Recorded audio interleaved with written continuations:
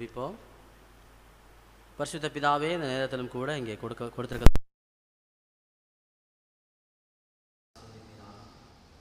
பொழுது